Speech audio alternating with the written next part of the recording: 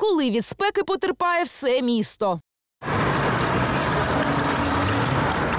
Місця подалі від променів сонця, кондиціонери, вентилятори та якомога більше води. Літня спека період непростий. І не тільки для людей, а й для тварин.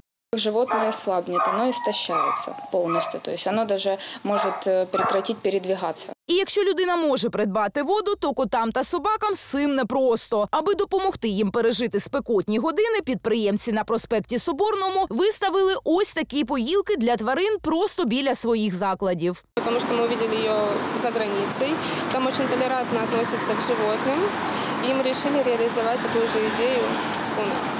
І хоч саме зараз після зливи пухнастих біля поїлки немає, кажуть, від моменту, коли поставили її, здивувались, наскільки це актуально. Чотирилапих, що проходять повз, від води було не відірвати. Все тому, що від спеки вони потерпають значно більше, ніж люди, кажуть ветеринари. У человека потоотделение идет по всей поверхностью э, кожи. У животных только в двух случаях, то есть или через язык, через язык или через мякиши.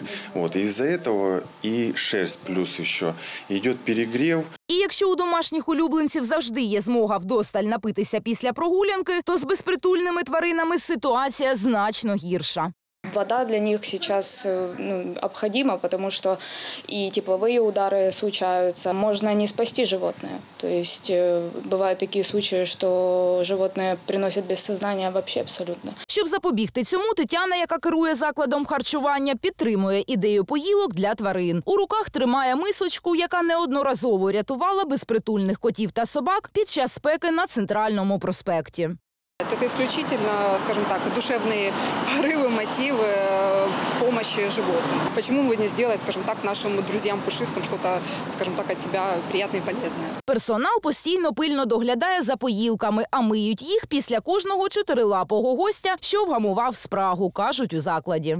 Естественно, чтобы она была чистая. Э, Водичку исключительно мы э, сами добавляем э, из кулера. Ветеринари тим часом наголошують, аби запобігти перегріву домашнього улюбленця, в першу чергу потрібно дотримуватись правил вигулу.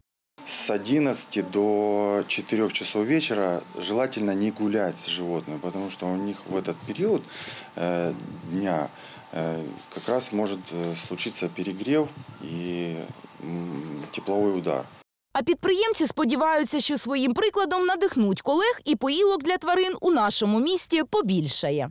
Я очень сильно надеюсь, что многие заведения поддержат нашу инициативу и э, воплотят э, такую же идею, потому что действительно животным нужно помогать, они нуждаются в нас. Карина Тімко, Олег Мовчанюк, ТВ 5